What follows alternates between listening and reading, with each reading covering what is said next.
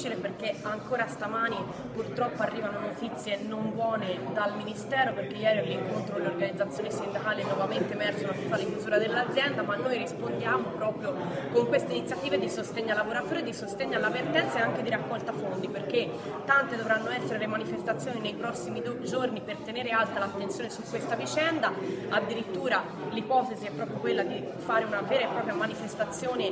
presso la sede in Belgio della multinazionale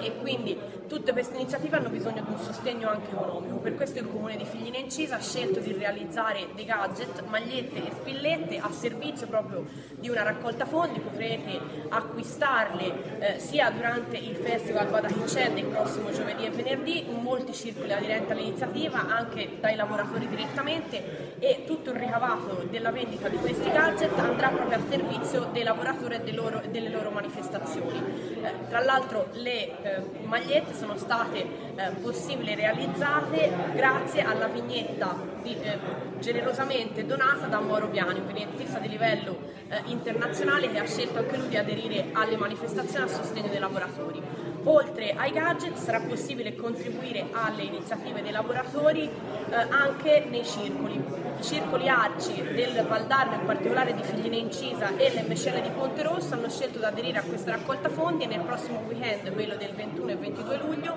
eh, tutte le loro attività vedranno una parte del ricavato andare proprio in beneficenza all'avvertenza. Sono tante piccole iniziative ma importantissime anche per non far sentire soli i lavoratori. Questo significa che hanno una comunità intera alle loro spalle che li supporta nella loro battaglia.